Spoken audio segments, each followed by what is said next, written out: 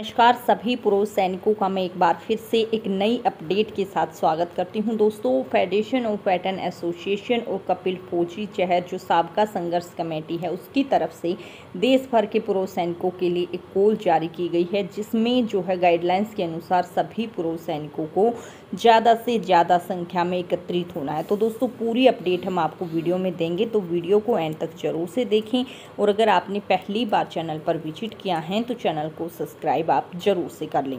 तो दोस्तों, आपको बता दें कि देश भर के पूर्व सैनिक, जो भी हमारे देश भर में सैनिक हैं, उनके लिए जो आप सभी जानते हैं कि 20 फरवरी से ही जंतर मंतर पर दिल्ली जायज़ मांगों पर चल रहा है आंदोलन।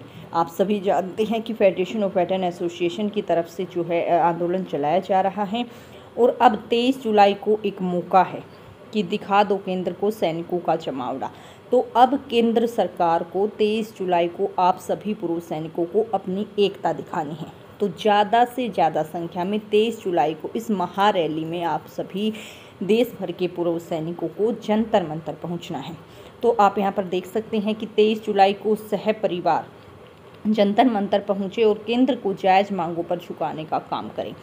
तो जायज़ मांगे आप सभी जानते हैं, उसमें ओ विसंगतियों से लेकर मिलिट्री सर्विस पे ईसीएचएस डिसेबिलिटी पेंशन भेदभाव, काफ़ी सारे मुद्दे हैं। पीएमआर डेट करेक्शन इतने मुद्दे हैं जिनकी पूरे मांग पत्र तक लिस्ट बनाकर सौंपी जा चुकी हैं। तो उन्हीं जायज़ मांगों पर झुकाने के लिए केंद्र सरकार को अपनी एकता दिखानी है तेईस जुलाई को।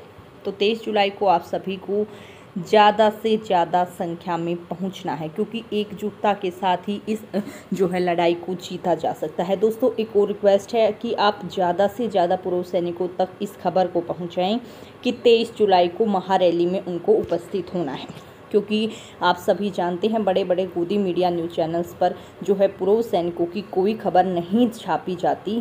लेकिन फिर भी कुछ ऐसे मुद्दे हुए हैं, जैसे भूख हड़ताल, जिसने गोदी मीडिया को भी प्रभावित किया और छापी है उन्होंने खबरें। लेकिन हमारा फ़र्ज़ बनता है कि हम तेईस जुलाई को लेकर अपडेट सब तक पहुंचाएँ, क्योंकि पूर्व सैनिक काफ़ी सारे ऐसे हैं जिन तक अपडेट ही नहीं पहुँच पाती हैं। तो ज़्यादा से ज़्यादा शेयर वीडियो को करें और तेईस जुलाई को ज़्यादा से ज़्यादा संख्या में आप सभी पूर्व सैनिक जंतर मंतर पहुँचें। तो ये अपडेट थी दोस्तों, फिर मिलते हैं तब तक के लिए जय हिंद, जय भारत।